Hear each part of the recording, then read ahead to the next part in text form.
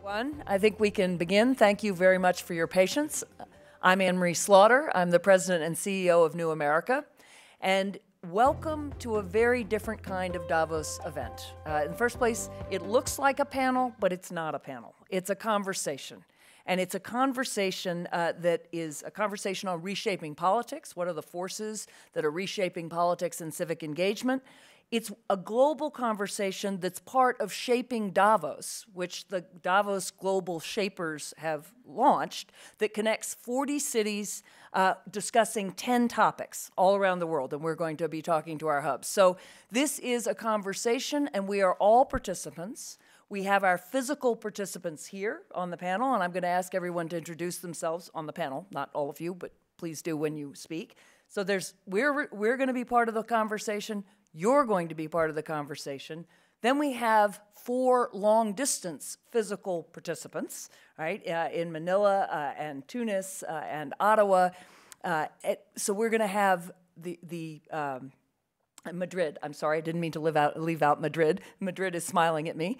Uh, so, and Madrid. And then we have the virtual world. Uh, so, Jorge Soto is going to represent tweets, social media, other questions. So, this is a you could say a three ring circus, but I prefer to say a, a lively physical and virtual conversation. So, with that, I'm going to actually ask each hub just to introduce themselves. Uh, and this round, we're just going to go around and say who we are. I'm going to ask the panel to introduce themselves and Jorge to stand up. Uh, and then the, the hubs will start talking about what they're doing, and we will respond, and I will moderate the conversation. So, uh, Ottawa, please go ahead. Great to be here. Happy to join you. My name is Evan Solomon. I'm the host of a daily political program called Power and Politics on CBC, and our hub had to deal with engaging citizens and Canada's role in the future of governance, open government, and engaged citizens. We got a lot of new strategies and new ideas to talk about, and I'm looking forward to that. Great. Madrid. Hello, very nice to meet you uh, virtually. Um, greetings from Madrid. Let me tell you that we have had a passionate and very interesting debate during three days here in Madrid, and we are very much looking forward to share with you some of our conclusions. Wonderful. Tunis. Hi, uh, Alia Mahmoud, uh, Global Shaper from the Tunis Hub. I'm the Corporate Citizenship Manager at Microsoft here in Tunis.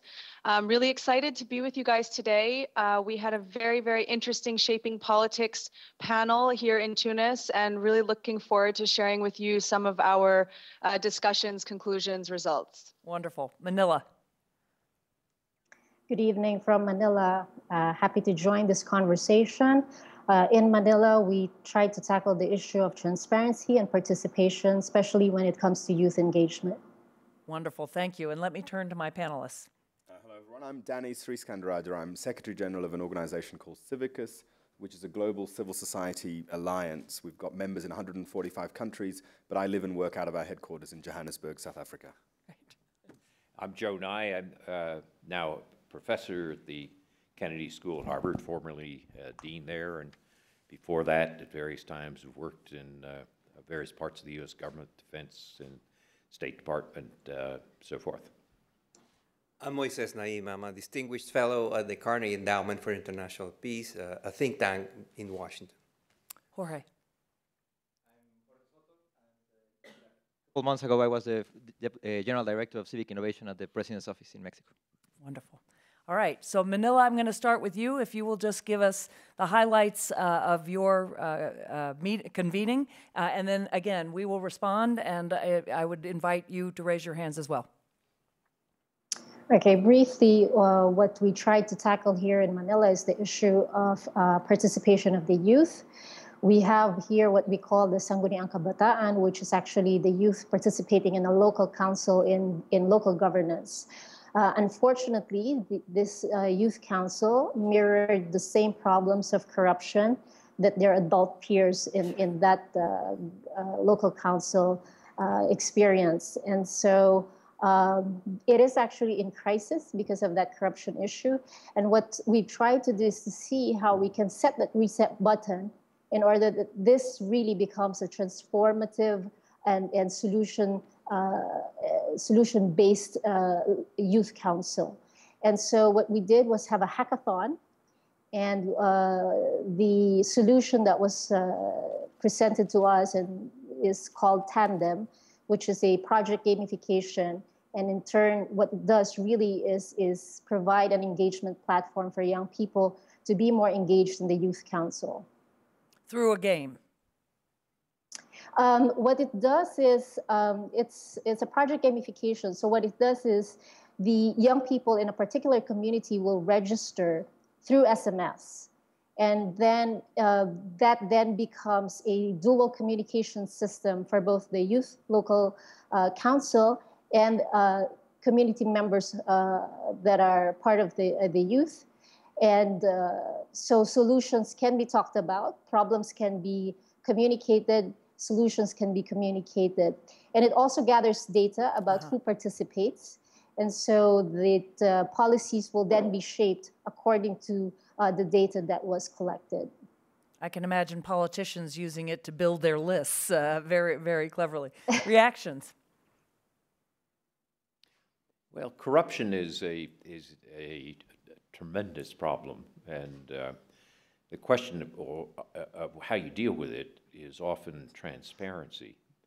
And the question I would have is, is ask for the Manila group is, did you ask about how um, information technology can do something about increasing transparency? I mean, you have the name and shame capacity, but also there's, there's a, uh, I believe in India there was a plan where if a uh, if a civil servant asks you for a bribe, there's a way in which you can tweet, or if not tweet, at least indicate uh, through virtual communication that you've been asked for a bribe, and it can be anonymous. You don't have to. I paid a bribe. You yeah, you don't yeah, but you don't have to jeopardize yourself doing it.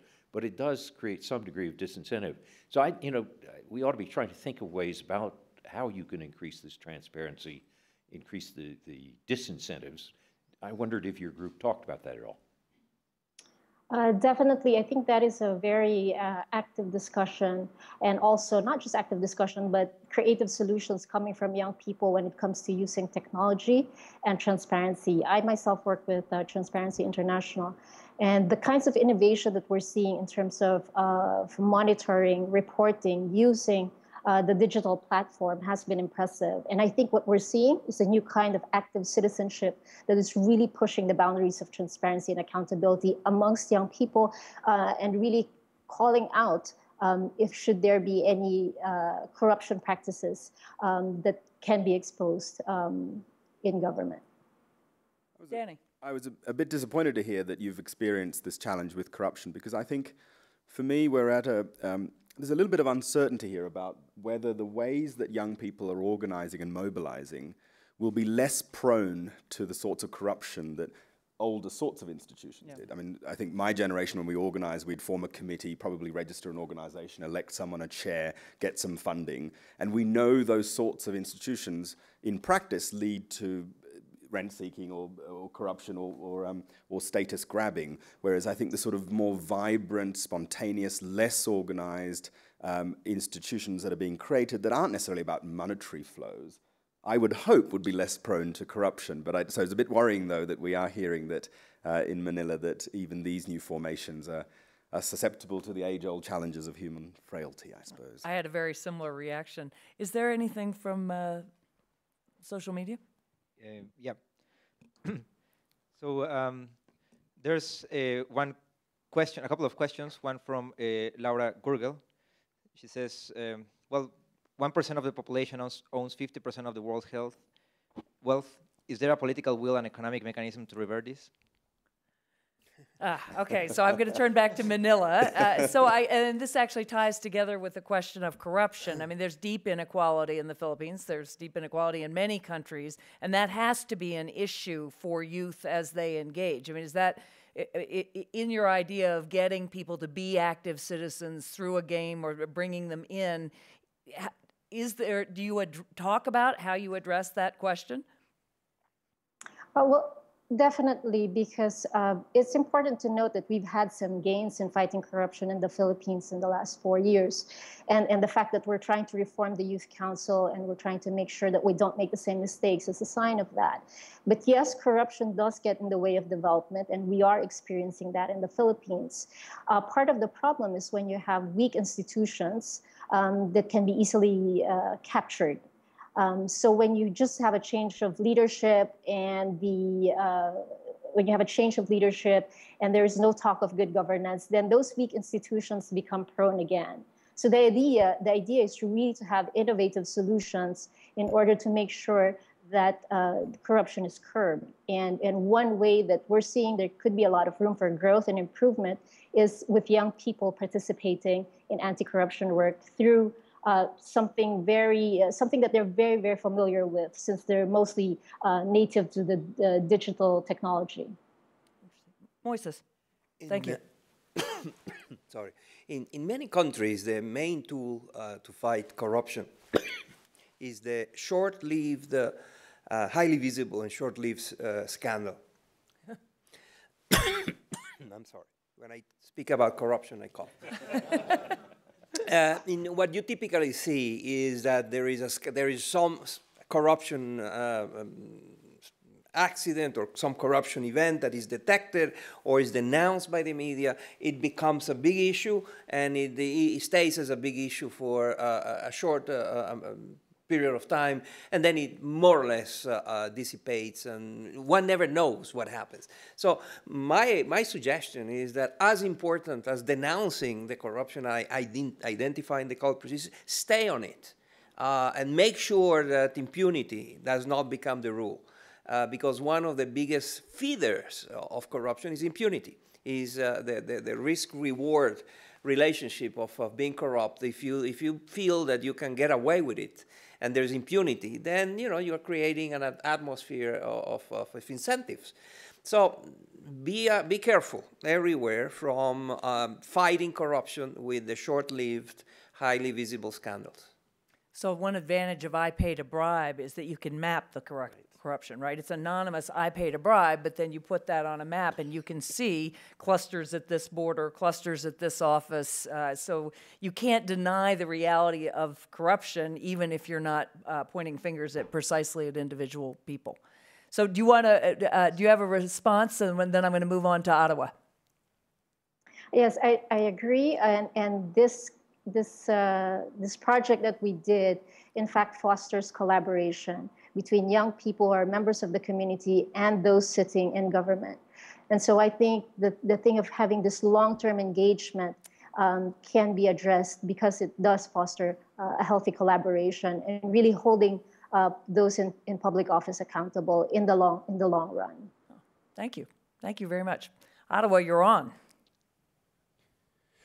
All right, we had a great session last night. I'll do a quick report. And part of it had to do with open government and what that is. That was defined as government that doesn't intimidate its citizens through complexity or through compliance that can act as a collaborative, engaging, transparent force. And on the other side, the problem of voter disengagement, especially for young people, the millennial generation. In the last election, only 38.8% of young people actually ended up. Wow voting. So, what is the problem? So, there's quickly three stages. Um, there was that kind of diagnostic phase. Why don't people, especially young people, get involved in government institutions? There's a good side and a bad side. Uh, on the good side, activism is very high amongst young people, but they're not active necessarily in government. They're active in NGOs and other institutions, but they don't seem to want to vote for various reasons the panel discussed. Some of them actually say, despite the privileged position Canadians have in terms of access to information, income disparities compared to many other countries, young people here actually say they don't have enough information.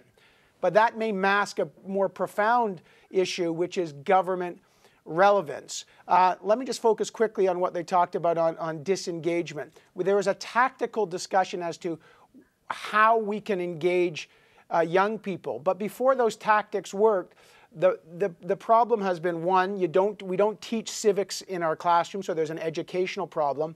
Two, this downward trend has been going on for 40 years, and it parallels the fact that there's been a downward uh, or a trend politically to say government doesn't work, a kind of neoconservative philosophy that has been in ascendance in Canada and in other places like the US, which has said smaller government is better and government is not the solution to your problems. So there's a generation that's grown up. That's Canada? I thought that was the United States. as a solution. yeah, it's, it is the United States. Uh, and, and so it's part of. So we talked about using digital technologies, um, open data, big data to try to re engage citizens and young people in it. Now, the question is, how do you do it? And this is the Canadian problem. It turns out that Canadians, through our government, we have about what they call 210,000 open data sets. In other words, 40 departments have given people access to government information.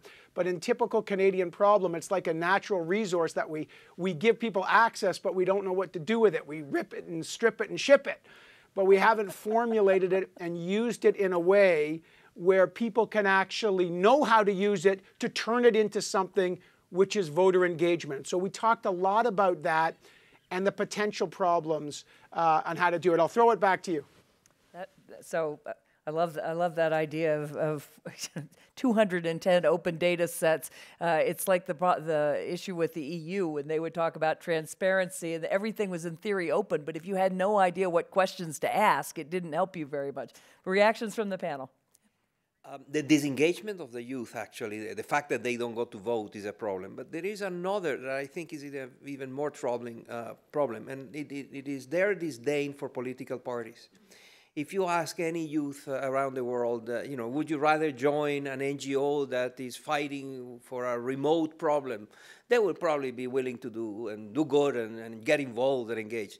Then you ask them, you know, why don't you join a political party in your country? You know, they run for their exits and they would not touch it.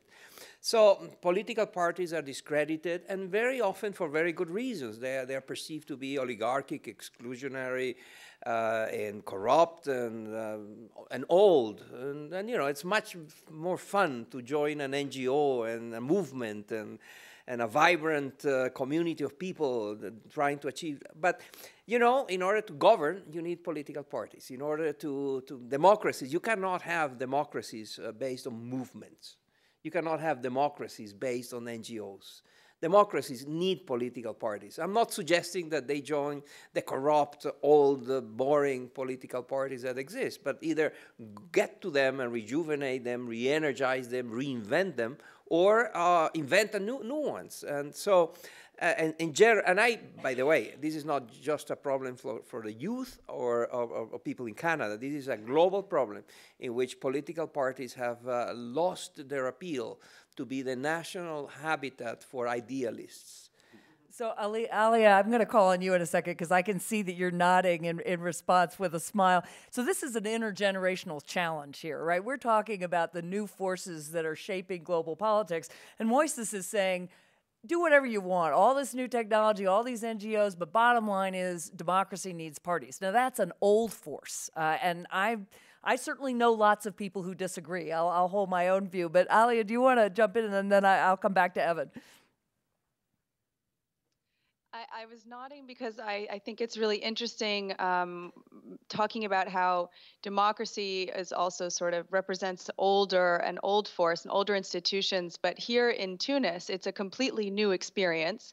Um, as you know, since the Arab Spring in 2011, we've been um, very carefully navigating a political transition towards a democratic system.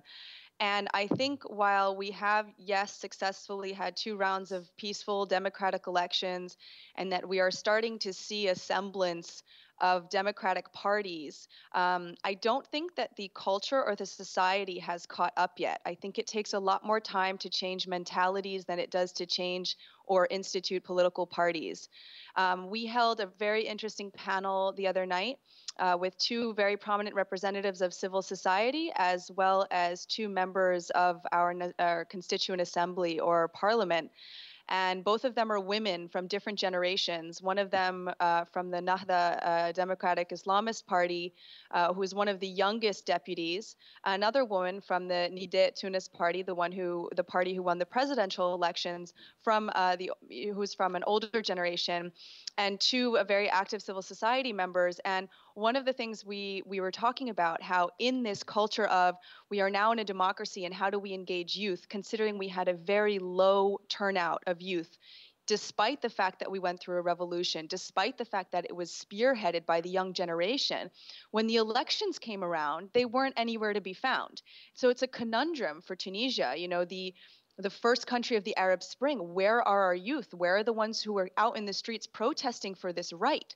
And it's a it's a fascinating challenge because uh, why aren't we able to engage them yet? I don't think political parties have figured out the best way to engage them.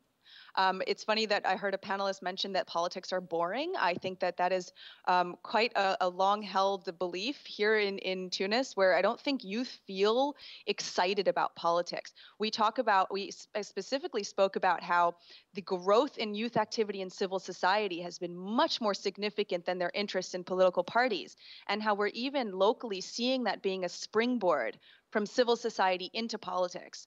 Um, so I think we definitely need to come up with more interesting and exciting ways uh, to engage youth. The youth deputy um, on the panel, she mentioned that she doesn't consider herself a young parliamentarian she or a female parliamentarian she just considers herself a representative um, of her her population except that she has a Twitter account and probably a lot of the other deputies don't. So she feels like that gets to keep her a little bit closer to her constituents.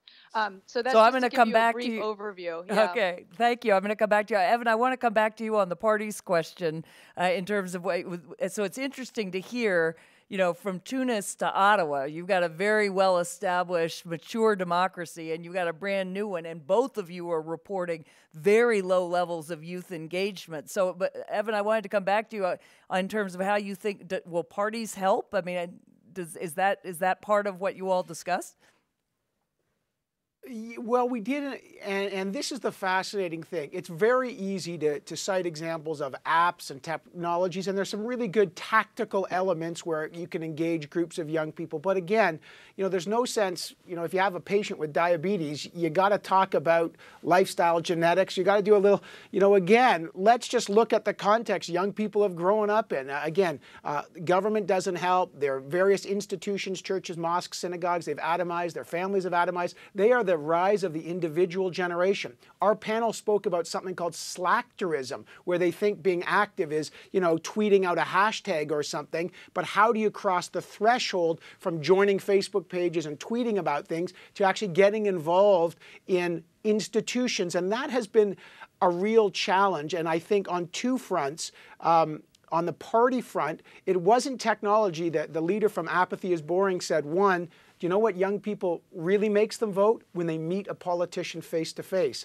Good old fashioned FaceTime. Here we are on a virtual panel. And the second thing is we have organizations. A, a, young guy called Taylor Gunn has run an institution called CIVIX and Student Vote, where throughout every election they get people who are not yet at voting age to, uh, they have almost half a million people involved to get part in, in, in, educations, in classrooms, in virtual participation. Because statistics show if you don't participate in your first two opportunities to vote, you might never vote at all. And that has huge democratic consequences. So the responsibility is first on our education system, but secondly on political parties who need to survive to literally get in front of people face to face and engage them and become relevant. So here we go. We've got a new force shaping politics, and it's called knocking on doors, uh, going to town yeah. halls, and Bloody meeting knuckles. voters where they are. Danny, I'm going to let you jump in. I mean, obviously, you run a civic organization like this. Yeah. Well, I wanted to come back to Evan's point earlier about openness because um, it actually reminded me of I had lunch with a Canadian minister recently, and it was a fabulous lunch in London. And when it came to who was paying the bill, the minister sort of shifted in his sheet, a seat and then looked to the junior official who pulled out his credit card. Turns out there's so much open data coming out of the Canadian government that every, every time a minister eats lunch with someone, he or she has to declare it, and the bill gets published somewhere in one of those uh, data sources that Evan was talking Which about. Which minister? I want to know. yeah, I know. It was, it was a fabulous meal uh, in London. Um, but it, it, it, reminds me that, you know, we've had a quiet revolution when it comes to the amount of public information that governments and public officials have had to release. And it's not just in Canada, it's across the world. We've had Freedom of Information Acts being introduced um, in Kenya, which has been a sort of an African leader. Vast volumes of public information have been published. But the problem, which I think Evan and his group have, have hinted at, is that the demand and the, and the, the understanding and the, uh, is not there. The supply side is getting much better, and governments, you know, especially through the Open Government Partnership, which now involves 72 countries around the world Absolutely. who've committed to becoming ever more open, uh, it, that's great. But we now urgently need to build a demand side, and that's about trying to understand and navigate this vast amount of information. But it's also about about building the capacity within all generations uh, to use and understand this data, because without it, we can't have the accountability. You need the demand and supply. So we have a we actually have a German Staatsminister in the office, and I'll give you a little time, but I'd love to hear your reactions uh, to that. You don't have if you you're, you're free not to to if you want to take a second, but I would be interested. I, I want to ask sort of your reactions to the open government movement, and I want to put on the table whether we sh- shouldn't move toward the idea that some information really shouldn't be public. In other words, if what that means is it's stopping ministers from having lunch with people where they need to have lunch, that's not a good thing. Didn't you know, have to order champagne, though. Uh, okay. yeah, but ministers are humans too. Please.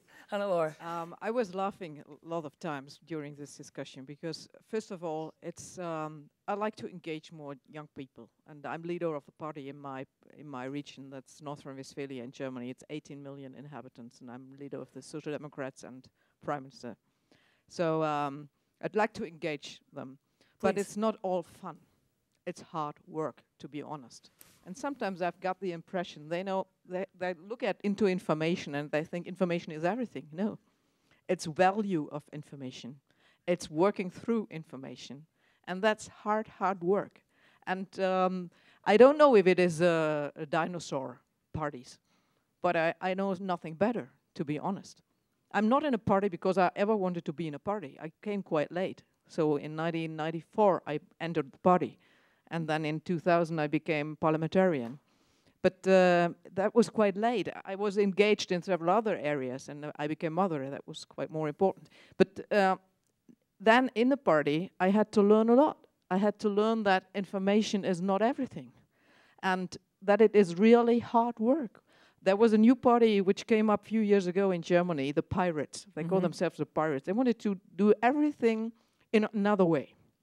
and now they're in the parliament, and they're somewhat like a CEO. They're sitting there making just like it's it's pro or cons. That's not the thing. I mean, they have to create ideas. They have to work on on parliamentarian papers, and uh, so that's really hard work. Some of them do, but not all of them. And some of them are really disappointed because they always ask for open government. I mean, we are on the way to open government. That's what we should do, but that's not the solution.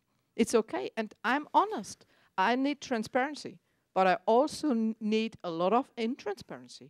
If not, I will not reach the goal I try to reach. For example, we had, uh, on our regional level, we are responsible for education.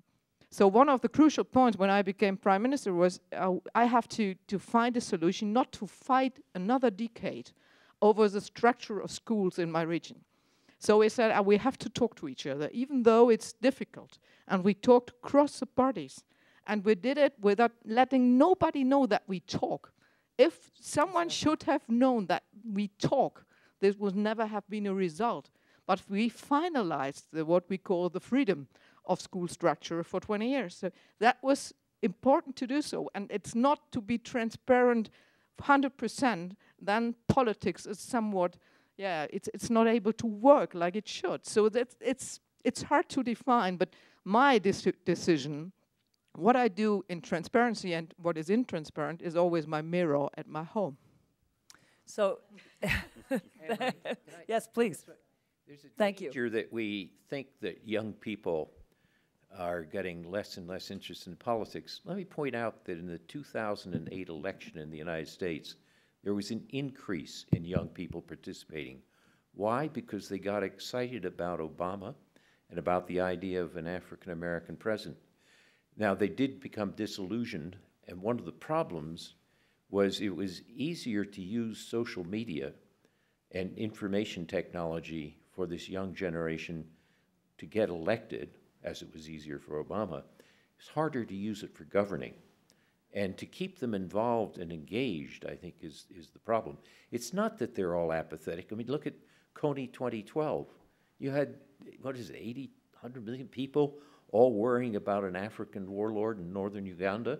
I mean, it's not, but, but it didn't, it didn't have follow through. And, and that's, that to me is the problem is not can you use the new media to engage young people. You can. It's how do you get them to realize if they want to accomplish something, mm-hmm. they've got to stay engaged. That's the problem I think we have to look at. So again, th- this all does come back to it's hard work. uh, I've got another person fr- from the audience, but it occurs to me that maybe what parties should do is reinvent themselves as NGOs uh, created to get things done. And that way, people will come together and they'll have a mission. Please. Yes, please. And uh, and I promise Yolanda, I'm coming to you sh- very shortly. we talk about um, citizen engagement, youth engagement, worker engagement.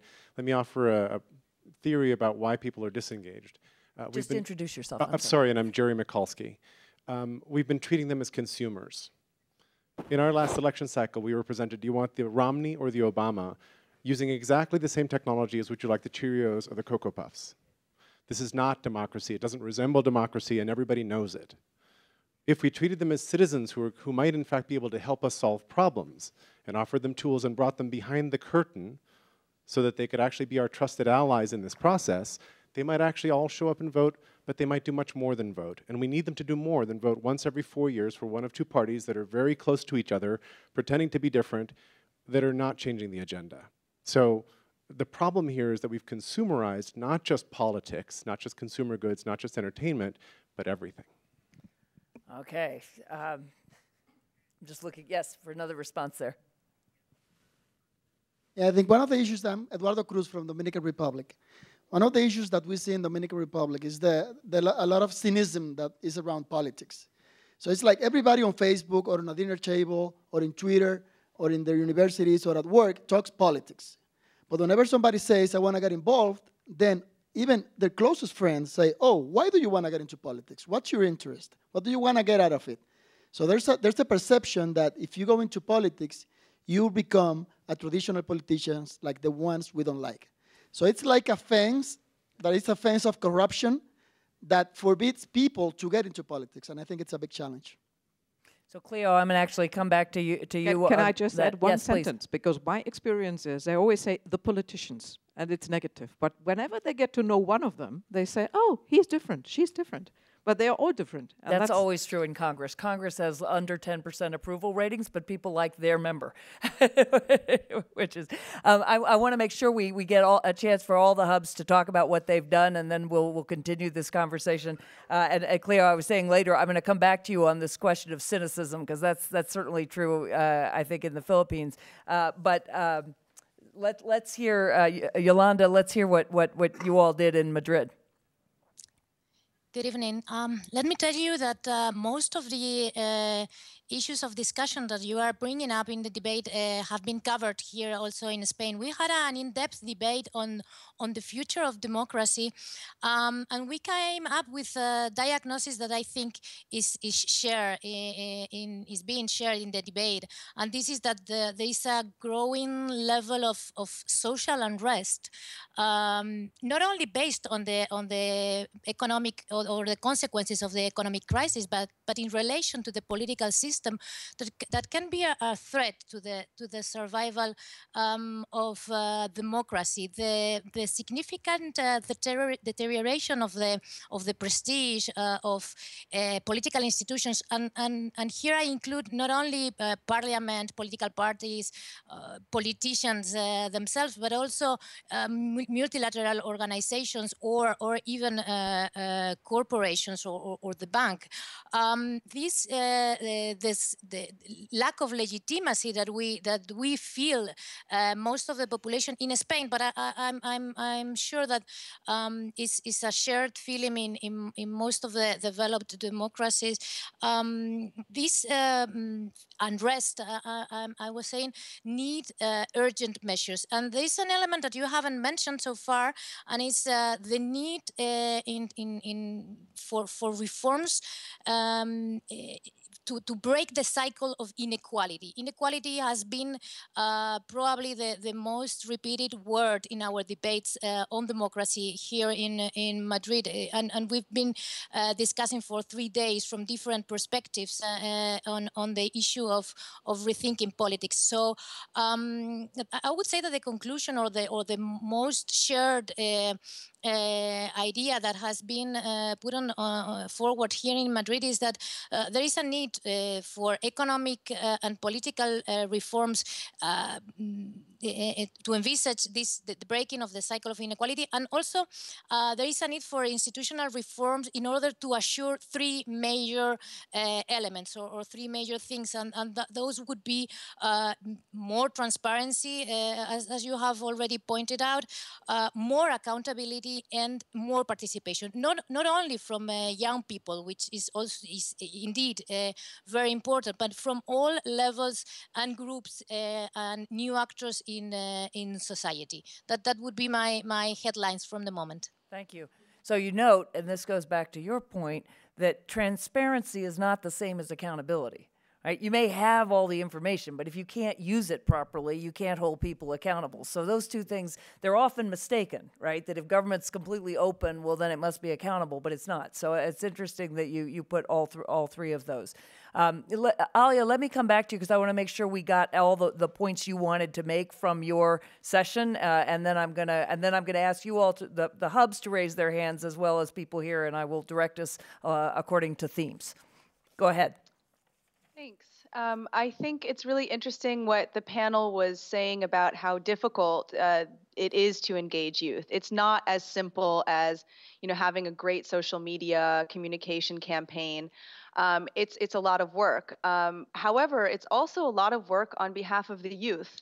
Uh, one of the things that came up in our panel um, from the president of a an associate an NGO here called Al Bawsala, which is a watchdog organization set up after the Tunisian Revolution by youth. Um, all of the, the people who work at this organization are under the age of 30. They sit in on every parliamentary meeting and report attendance, and they publish online who was there, who voted on what, which is a huge, huge difference um, for the way that we do politics uh, in Tunisia.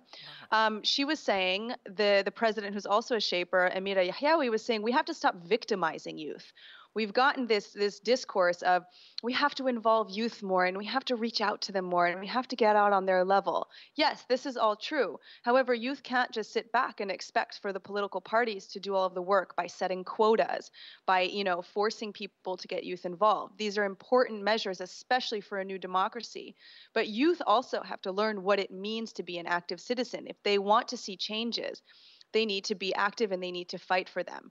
And another really interesting point that came up as well is we shouldn't be talking about a binary situation here. This isn't old versus young. We keep following falling into this discourse now in the new kind of Tunisian political context of old versus young. As you, as many people may know, our newly elected president is over the age of 85. This is a, a very um, hot topic of can somebody of this age represent the youth who rose up during the revolution?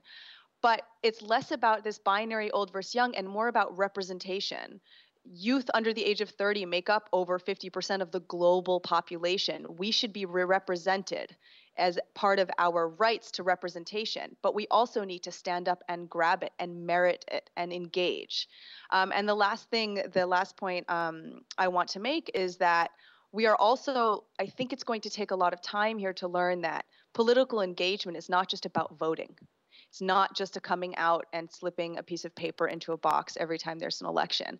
And us navigating how can we politically be engaged as youth outside of election period? Because um, right now our democratic process has been a bit relegated to okay we have elections coming up and mobilizing and getting people out there um, but we need to go above and beyond that. And i think that's going to be the adventure to come for tunisian youth okay we've got lots of things on the table. Let me see if i can just uh, cover some of the themes that we've heard and then and then allow us to to, to uh, continue to discuss some. Uh, and again I'm going to ask each of the hubs just to raise your hand if you want to make a comment uh, and I because I can see you the way I can see I can see you actually better than I can see the audience. But uh, uh, but so so we've we've heard a, a, number of sort of paradoxes. I mean the the first is the idea that is what's come through very clearly is politics is hard work that's what parties do. That is, it, traditionally, parties are the way you get organized. There's a lot of horse trading within parties, and then there's a lot of horse trading uh, between parties. That's that's been traditionally how the hard work gets done and that for a, a generation that has been mobilized much more in terms of movements, uh, the, and you, you know you either participate virtually or you get out there and march, but you don't want to do the hard work of actually governing. So we've heard sort of that that young people don't want to put in the work. On the other hand, this is the generation that, at least in the United States, has a different balance between money and meaning, right? They're the generation that are focused more on meaning. They're the generation that are founding NGOs, that are going out uh, and and committing themselves uh, to making a difference in the world. So one one theme here is what's going on there. I mean, is it just that they want to make a difference, but politics is dirty? I mean, or politics. I mean, actually, uh, uh Jerry said it, it, they feel like they're consumer; they can't participate. I mean, how? Surely there's a way to communicate you want to make a difference, you can make a difference, not just by voting, but by doing something specific. Moises, you want to say something, then I'll just, call. Just, just briefly, in, in, underlying this conversation, there's a heroic assumption, and that is that age unifies and homogenizes.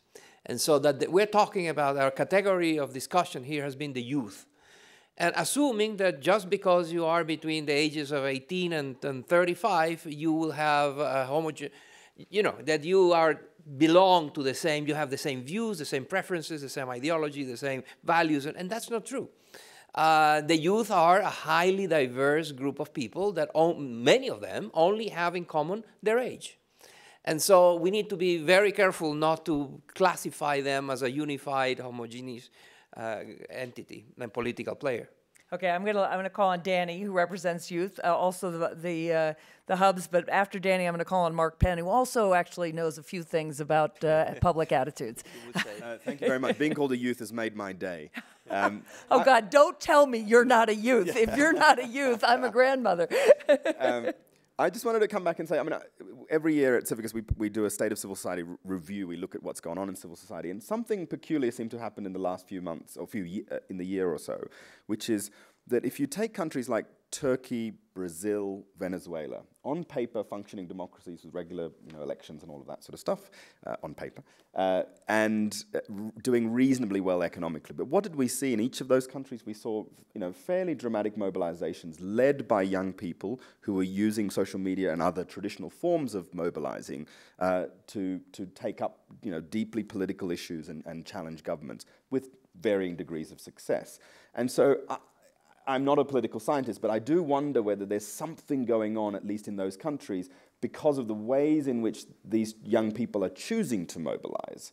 Um, so perhaps their life experience, their frustration with party politics, or whatever else is going on, um, is actually you know, leading to a new form or a new way of, of mobilizing. Thank you. Mark. Uh, I thought I'd just give you a couple of observations. Over the years, I've worked in about probably 35 developing democracies. And so they tended to have a certain, you know, there were certain events that typically happened. And then I just want to make one quick comment about the, about the youth thing. You know, first of all, democracy doesn't exist without real free will. And so when they used to take polls in the Soviet Union when there was no free will and said everybody supports everything, they were phony. And the first thing is where they're shooting people or where your life or you could be jailed, there's no real democracy yet. And then I think there's a second level, which is, is it corrupt or is it fair or is it fair enough? I mean, they, they hauled off the the, what is it, the state senate leader of New York just yesterday. Uh, so corruption happens everywhere, even in the most established democracies. But, it, but is it fair enough? You, is corruption such a block that you don't know who's going to win or not? You don't have democracy. Then when you clear those two hurdles, you begin to have democracy. And that first democracy is usually party-oriented, and the parties kind of get their members and the parties get their people to, to the polls. And the second stage, and this is where I came in through the years, was when elections became communications based. And when they're communications based, they're usually more leadership based. Who's going to be the best yeah. leader for our country? And you know, I, I think transparency is important, but I think a leadership is 10 times more important. Getting an honest leader who can shape and mold the system and finding one, you know, in politics is a tough profession you know, you, in any country where you have to stand up, state your views, do what you have to say, you know. And so, and then you move into that, and then after the politics of leadership, usually either it succeeds as a democracy or the politics of leadership, the people in office just, wow, they don't want to give it up. okay, and then what they do is they get rid of the no reelection clauses, like in many of the countries I worked in in Latin America. Then they take over the institutions, and then you're back where you started from. And I've seen that pattern. And so if you get to the politics of good leaders and you get to the politics of improvement, boy, that's the time you really have to watch out, right? So that it doesn't it doesn't fold over. And that suggests that social media, et cetera, makes that worse because it's all about maybe communication. Maybe. And then, you know, my comment about about youth is let's just remember in the United States that when John F. Kennedy was elected, young voters out outnumbered over 65 voters two to one, right? Today, we are crossing the threshold where over 65 will outnumber, right? will outnumber under 29. And so the biggest vote in America, America in fact, it's all the same people who voted for Kennedy who are now the over 65s, if you think about it. And we still right? think we're young. And I still have it, but, but don't forget that there are countries and most of the developed democracies that have, that, you know, this, America's never been older than it is now and is going to get a lot older, where you're going to have a lot of people. I mean, the reason why young people were so great in politics is they had time on their hands. You're going to have a lot of older people who now will have civic time on their hands for the first time in history. And they can transform politics as, as much as anyone else. The rest of people were always too busy with their career and with their families and their kids, and so their political time got limited. And then I just finally, I don't worry, uh, you know, I'm not as cynical about youth. Youth typically took time to get involved. Uh, they, I don't think they're voting much of anything other than I don't have kids, family, or religion yet, and so therefore I'm not sure. Politics then becomes much more important to people when they get that. And in the US and other places now, they've kicked all that back another five years. So people don't get married until 32. And so all those things may actually be a little bit more delayed, and we may be seeing the effects of that, that we're going to have to mo motivate them a bit more. So, so I, I, I agree. Moses, got to worry about all the voters. Now, in Tunisia, Tunisia is a young society. The East is young. Under 21, that's all the people.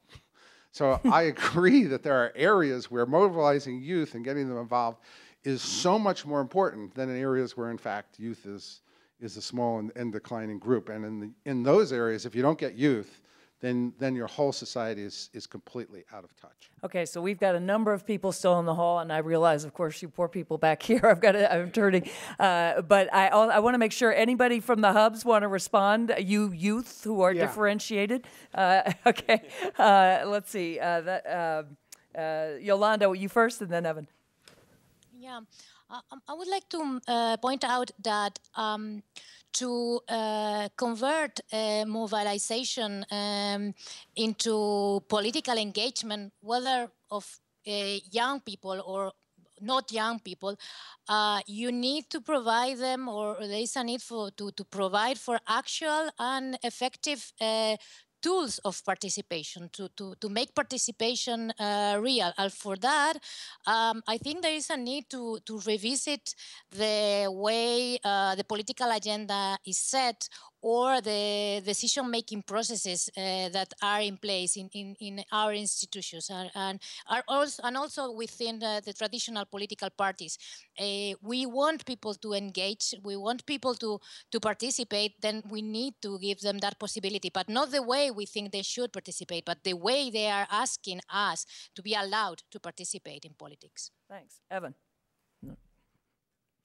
Uh, two quick points on, on either side, the government side and the, and, and the student side. First, on the student side, someone raised this question that we've been transformed into consumers from citizens, which has been a big part of a dialogue here in Canada. But it's been fascinating where we saw young people really active in, in Canada has been in the province of Quebec. Uh, Quebec youth marched in the streets over tuition for post secondary. It already has the lowest post-secondary tuition fees in the country, but they have a vision that in Quebec, it should be free. There's a lot of resentment in English Canada about that. But in Quebec, young people had a collective citizens' vision of what kind of society they want to live in. And that was interesting to juxtapose the crisis uh, uh, in a lot of democracies. And this is where, from Tunisia to Canada, we all connect who can articulate, whether it's through a leader or a political party, a collective vision where citizens have an idea of the society they want, whether that's from the Arab Spring or in the Canadian elections, and then you work backwards how to get there through a political process. We saw that in Quebec, and it activated youth and seniors. Secondly, on the and, and Anne-Marie, you made a great point about accountability and transparency. Canada has, as I said, a lot of, we talk about big open data as if data itself is a solution. It's not.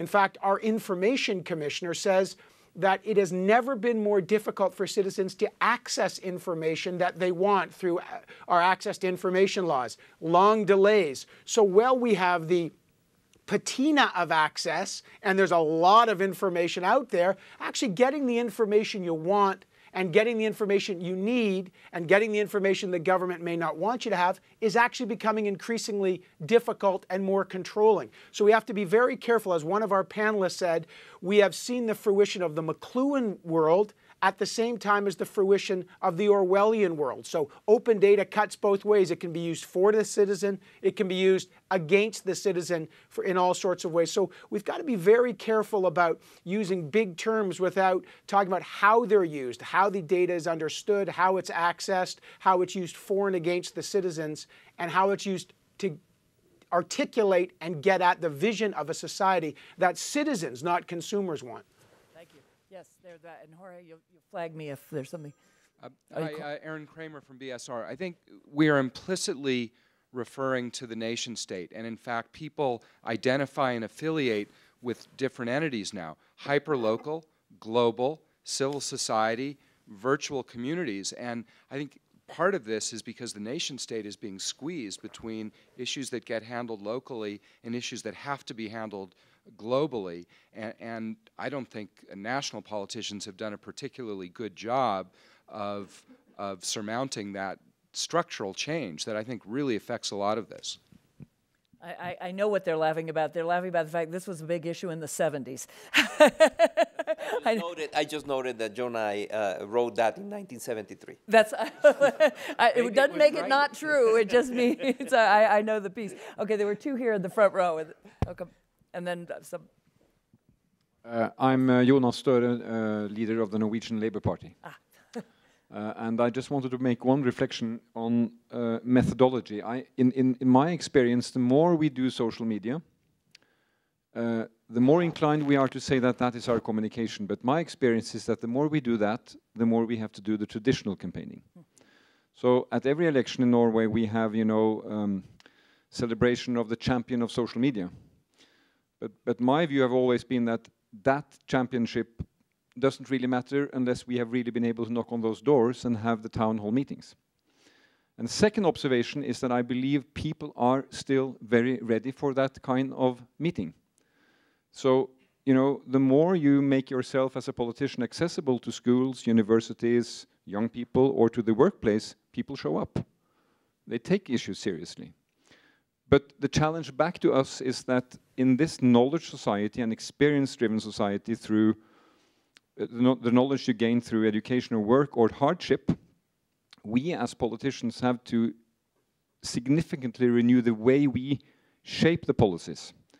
Now, here is the old way, and that is to go down the hall and find the guy in the party who knows about railroads. So we make our rail, rail, railroad policy. The new method is that we have to go out much more largely and listen beyond the party, beyond the union, and into where the knowledge and experience is, and really give people uh, the true experience of being involved. And then we are pretty good at making budgets and plans and all the rest of it. But Martin Luther King never said, I have a plan. he said, I have a dream. So I think, you know, this leadership thing and, and being able to uh, uh, translate this, you, you need representative democracy and the parties to do it. But they have to be much more open and much more inclusive and much more knocking on doors. And here social media can, can fool us because it can gives the, give the impression as we have as citizens that we are so connected but, but, but we are really not. Thank you. I'm going to ask you to pass the microphone uh, to the person next to you, but let me just point out, you said two things that, that are two other themes that I want us to, uh, to, come, to come back to. Uh, one raised is the importance of leadership and this uh, ability to articulate a collective vision that actually is not top down but but bottom up. But the other and this was raised before is are there ways we can actively engage constituents in collaborative problem solving right this is what's coming not just voting yes but but exactly if it's not just walking down the hall to the expert and getting it how do you do that and technology can help but that's hard work too i mean it's still consensus building and actually to your point some of it's better done out of sight uh, so uh, please hi good afternoon um, I'm Oath from the Kathmandu Hub, the Global Shapers. Ah, thank you. Um, and uh, it's a pleasure being here. Uh, mainly, corruption was mentioned, but I think corruption is a cultural issue. It's a problem of culture. So it happens to affect politics. It happens to affect the private sector also, which wasn't clearly mentioned. So we, as, as youth, we really need to change that culture so that we see that change happening in politics and in business and social life as well.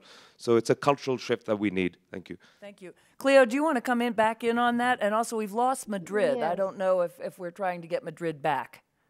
Okay, Cleo. Just to address some of the, the points that have been raised, uh, the structural issues, the disjoint, the disjoint between local uh, structural realities and global commitments that our leaders have made, and also the new forms of mobilization that we're seeing. It actually links to your earlier question about the cynicism. And, and for us in the Philippines, just to contextualize, there's still a lot of traditional politics, and that means patronage politics. Wow. And in fact, this, this um, the, the theme for this session, which is rethinking politics, for us, it's really about rethinking solutions. Uh, because, uh, just to contextualize, uh, we might have political parties, but they're not programmatic political parties. We may be a, a, founding member of the OGP, but we're not yet at that point when too much information is a problem for us. uh, we might have good voter turnout, uh, but what is the quality of the elections that we're seeing? It's very expensive for anyone to engage in politics because of very serious campaign finance issues that we have. And so young people have, have this need to rethink solutions and find ways to be engaged and for sure it's hard work because there is an online uh, uh, presence that we need to have in order to engage the youth but there's a lot of offline uh, activities that we need to be engaged in as well. So yes there is a need for active citizenship on the on the part of young people but it's precisely because of very traditional structural issues that we've had to go around in order to be more relevant. Thank you. So in mark's uh, typology uh, there, there, we, we left out party patronage politics, which certainly American democracy has gone through. So uh, there in the back, and then there was a social media question.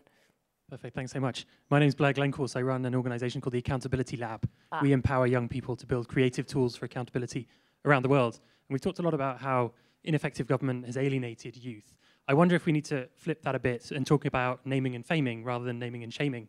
Engage youth creatively by showing them where government does work and the champions that are doing good things as it relates to transparency and accountability. Just to give you one very quick example, we just organized uh, a national TV show and movement in Nepal called Integrity Idol. uh, where we asked people to nominate honest civil servants from all over the country, got hundreds of nominations, filmed them doing their jobs, talking about why it's important to have integrity and serve the public good, uh, and then showed it on national TV. And That's thousands and thousands of young people voted by SMS and Facebook for their integrity idol. Um, so it can be done. I think maybe it's just a, a question of uh, reframing the way that we, that we think about it. So uh, let me just ask you, uh, the, what uh, you said tools for accountability. So we've been talking about you know tools for onward engagement. But what just give us a sense of what other tools you're talking about? Sure. I mean by that I mean I think we need to meet youth where they are rather than where we want them to be. So that means engaging them through media, through culture, through art, through games. Um, yep. Through games, exactly. Um, so we've set up film schools, accountability film schools in different countries. Uh, in Nepal, again on this this issue of information, uh, we created a wiki tool um, that students have used to crowdsource information on public services, making that information free and transparent for everyone. It's been uh, accessed hundreds of thousands of, of, times. So there are different ways of, of, doing this, but the tools have to be bottom up. They have to be owned, of course, by the people who are going to use them. Uh, and then we build communities around those to make them sustainable. Huh, great. Jorge. Or uh, there are several questions here, on the, so I'll summarize in three. One is uh, whether you know concrete examples of this open data movement uh, tackling corruption. Um, the second one is, where do you prefer uh, youth at the, at the parties or in the streets? And the last one is, isn't this, this disengagement of the youth speak about the failure of politics uh, to align with citizens' concerns and communication? Great. All right. I, I mean, unless anybody wants, Joe. One, one thing that might help is, is a little historical perspective. If you go back 50 years or 100 years and ask how many youth were heavily involved in politics, I suspect it's lower than it is now. So we don't want to have an idealized point. I think Moises made a very important point. Lumping all youth together is a mistake. I mean, a lot of young people, myself at that age, didn't care that much about politics. I was interested in girls, uh, and thank God I married one and who's been very good. But, I, if you but, had more women in politics, that well, could be mixed. I could have uh, combined two. No, but the point is, let's not let's not uh, romanticize the past. The interesting question is whether young people see paths to go forward. And what strikes me, and I don't see a representative sample of something called youth because there is no such thing, but I'm struck by the number of young people that I come across today who want to give back, who either are willing to run for politics, but more than politics, who want to start a nonprofit, who want to work in a, in, for Teach for America, for example, in, in the U.S. after they graduate from college in terms of urban schools. I'm, I think, in fact, the generation of students I see today, which is an elite sample, but nonetheless, is much more public spirited than my generation was. Danny. I just wanted to uh, just reflect on what I think is slightly different, though, in most countries around the world today, because I think we're seeing a confluence of at least three things that are that are unprecedented in historical terms. In the vast majority of the developing world, we have a youth bulge. So Tunisia is a great example. Um, so we do have very young populations. We've had the ICT revolution, which has put the power of communication, instant, spontaneous, anonymous, if it needs to be, communication into the power of citizens. And third, we've got the data or openness revolution as well. And I think that's the confluence of, of things that means that we, at least in the developing world context, we have to be rethinking the nature of politics. That said, some of the, you know, some of what we've known for thousands of years about what goes on in politics will still be there, and that's, you know, corruption emerges, or or uh, party politics have to, you know, some form of political formation needs to happen to to formalize or institutionalize those movements. But there is something special going on out there. So we've only got ten more minutes. I'm going to add. I'm just going to add one more thing to that. I think that the divide between digital natives, who are today's youth, and digital immigrants, who are my generation, probably anybody over 40, I don't know where you draw the line, that divide is as great as the 1968 divide between the establishment uh, and, and the youth movements then. It's less visible. I mean, in the United States, you're not walking around, you know, with long hair and, and flowers and everything else. But in terms of how you think, in my experience is it's just as great, uh, and they don't they don't dislike us as much, but. Um, uh, so, uh, in our remaining time, I'm going to turn back to the hubs at the end and ask them to ask ask a question. Uh, but I I would love to hear more examples, if anyone has them, of this collaborative problem solving, of this sense that it's one thing. It's it may be hard even to get youth to vote, but they, but they're, that's interconnected because they're not going to vote if they don't see how that's going to actually make a difference in their lives. And accepting that many young people aren't thinking about you know childcare policies or housing policies, et cetera. Um, but are there examples of how it's beyond the election and uh, you know, because one of the propositions, Moises just said, that's parties. You're not going to get away from that. And I want to hear if anyone has any alternative to that. A deafening silence. Jerry. exactly. So there's a group called NCDD, the National Dialogue, National Coalition for Dialogue and Deliberation, ncdd.org.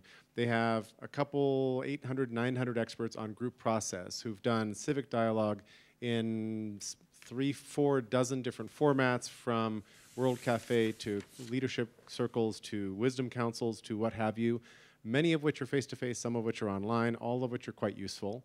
And I think it's a matter of picking and choosing and remixing uh, to make them appropriate. But our tools are so blunt and stupid, the ones we use, even here at the forum. We don't use very good group process. Um, so I think a lot would be aided if we did. Great. Other examples or comments? Can I answer? Yes. Can I, can I just Absolutely. quickly mention one of the questions that was um, in, in social media was the effectiveness of the street marches, the street activities. I think the question was, where do you want the youth in the streets? And I have been following all of these street movements, and it's quite uh, striking how ineffective they have been. If you look at, uh, you know, you go beyond the Arab Spring and look at all of the marches, you, you mentioned a few of them, you know, it turns out that in this time and age, it's quite easy to put 100,000 people in the streets. And then nothing happens. And people feel that victory is to just have 100,000 people or more feeling a big uh, uh, street in a, in, a, in a big city and um, they have the same grievances. They have the social media that helps them coordinate and mobilize and energize, but then nothing happens. It's this huge political energy uh, that turns at high speeds but is not connected to the wheels. And therefore, there is no traction. And I would pose it again that the traction has to be provided by political parties. So in the United States, you had Occupy Wall Street, which was in the street, and you had the Tea Party, and who's had a greater political uh, effect. Yes, please. Hi, hello. My name is Bruno. I'm from, from Spain. I just want to point out, to follow this comment, that in Spain right now, that is happening. There is a new political party that is coming after all this movement that is happening, and it's based a lot in social media and also in the youth. But I want to point out that the until the party arrived, the indignados, the movement of the people that were indignant in the streets, it was a cathartic movement. They just protested, they were furious about the, the situation, and nothing happened until they organized.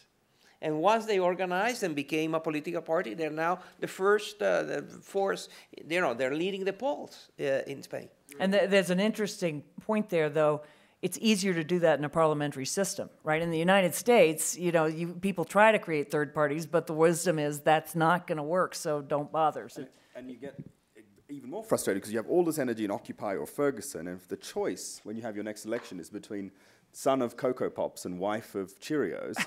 And you would what sort of democracy called, is that? Yeah, and you would think because they're called parties that they would be attractive to youth.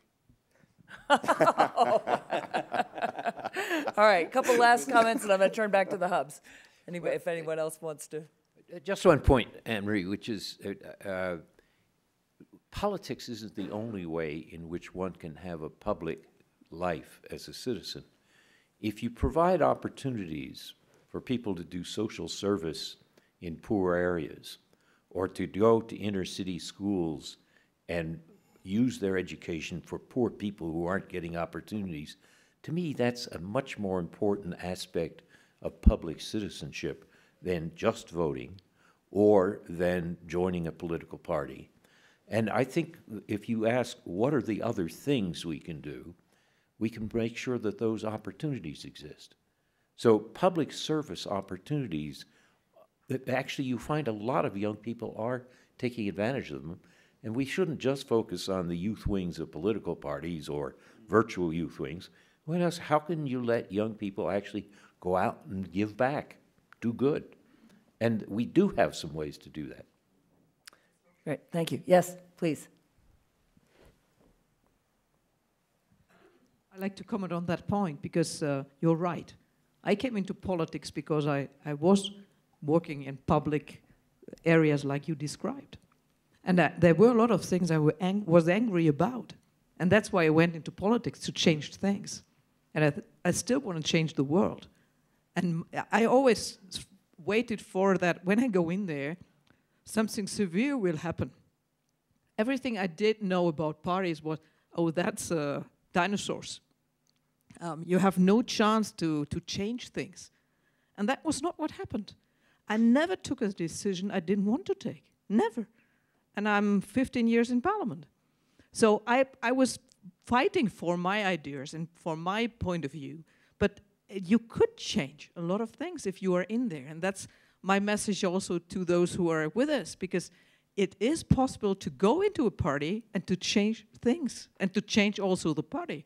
And so in the end, you, you end up as a leader of the party, but and that makes even more work. But it's, it's, it's worth going in there and trying to, to get the ideas of young people into the party. I mean, we are rolling out the red carpet for them.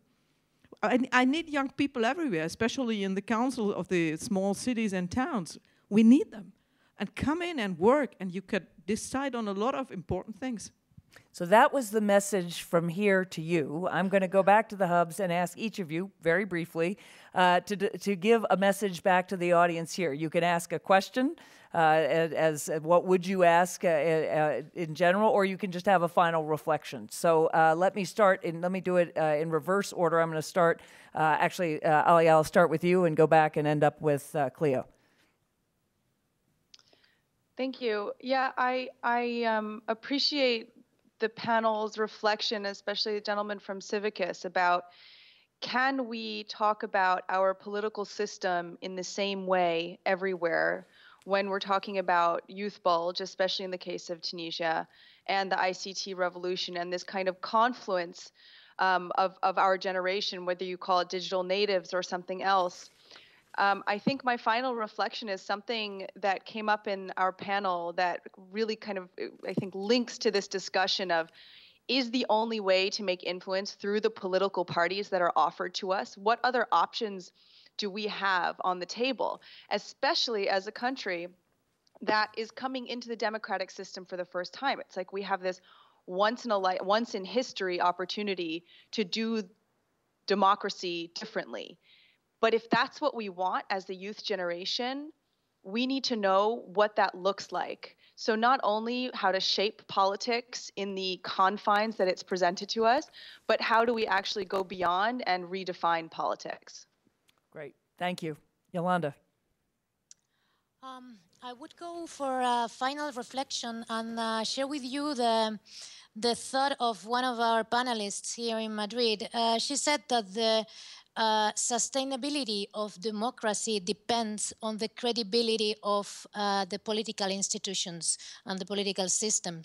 And uh, to strengthen that and to, and to make it uh, credible and sustainable, um, I think the key uh, elements or the key pillars for progress and reforms are, as I mentioned before, accountability, and these depend mostly of the institutions themselves, and participation. And, and again, I, uh, as I said before, participation is about what the groups, the political groups and NGOs and social uh, and the civil society want to do and to say, not what, what the institutions expect them to, to, to say.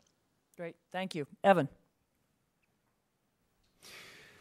A great panel, first of all. Um, look, there's a lot of new tools that we've got, and we can talk about that to engage a fundamental problem. There's cynicism, there's disengagement, there's corruption, there's uh, disparities between the rich and poor, demographic issues uh, where politicians are serving those who vote, and there are these negative cycles uh, in North America serving the baby boom generation because they vote.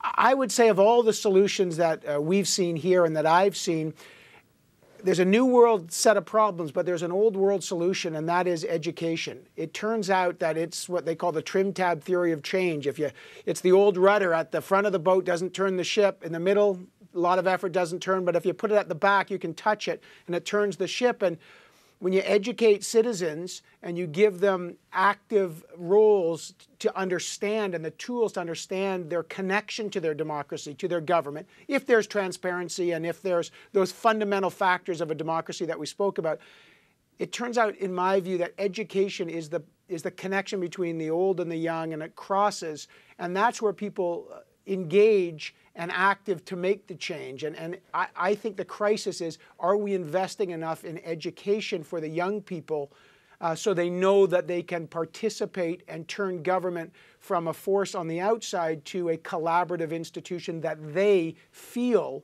they can participate in? So we, instead of global shapers, we need global kids. We need to go down one in terms of the uh, uh, the the engagement. So uh, Cleo, last word. Thank you very much uh, for this great conversation. I was able to learn a lot from the conversation, from the insights of, of, of the contributors.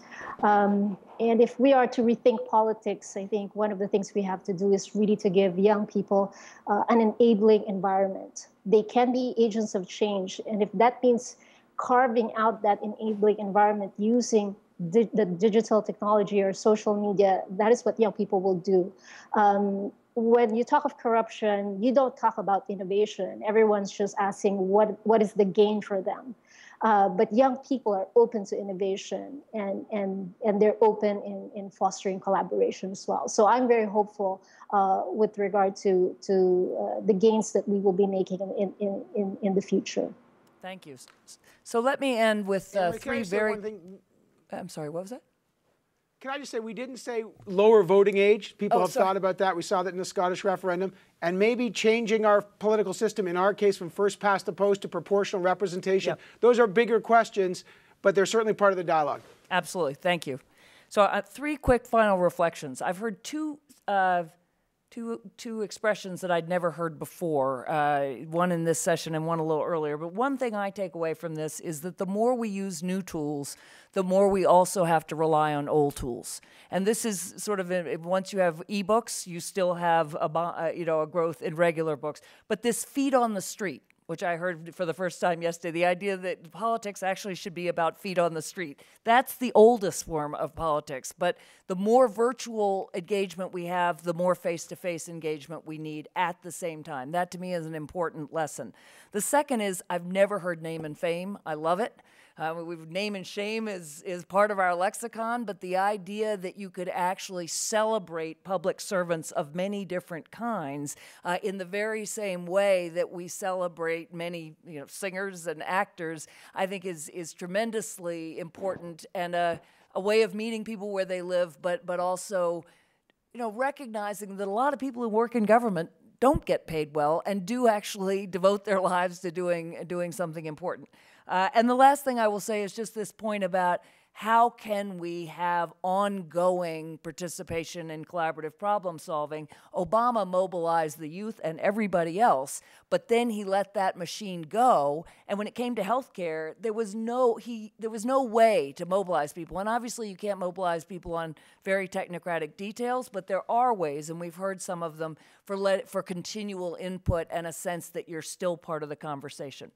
I want to thank everybody who participated. This was a complicated exercise. I want to thank the global shapers for coming up with shaping Davos and shaping politics. And thanks to all of you. Bye.